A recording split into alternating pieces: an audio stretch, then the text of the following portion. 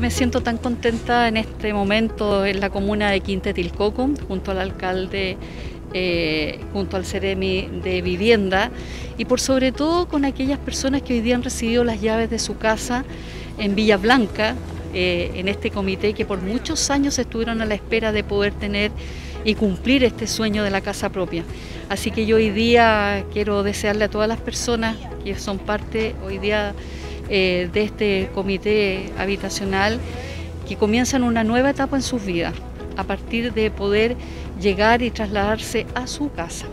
Así que nosotros como gobierno nos sentimos contentos en medio de esta pandemia, hacer un alto hoy por la tarde en Quinta del Coco para poder eh, compartir con las personas este momento que nos aleja un poco de la preocupación de lo que es la pandemia en nuestra región. Agradecer al gobierno, agradecer cierto al Ministerio de Vivienda y quienes también, eh, eh, ¿por qué no decirlo, cierto?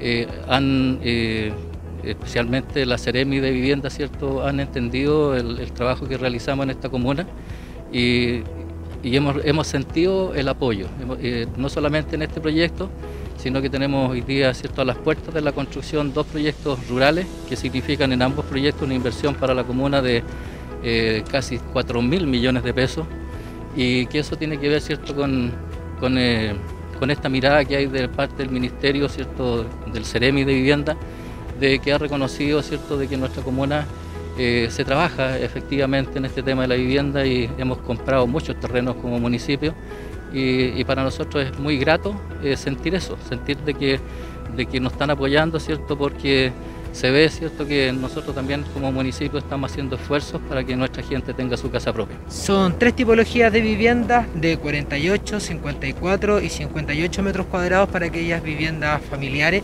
Se trata de una inversión de alrededor de 950 millones de pesos para estas 44 familias. Eh, el mandato de nuestro presidente Sebastián Piñera mejorar la calidad de vida de los vecinos y de las familias de la región de O'Higgins.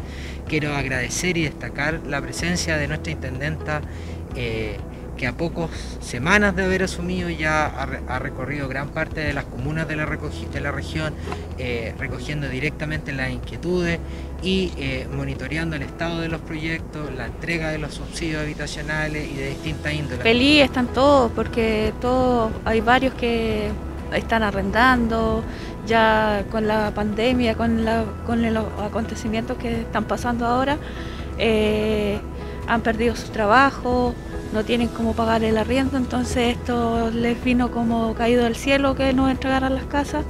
Entonces, felicidad para ellos, mucha felicidad. ¿Y para usted que ha estado tantos años al mando de este comité?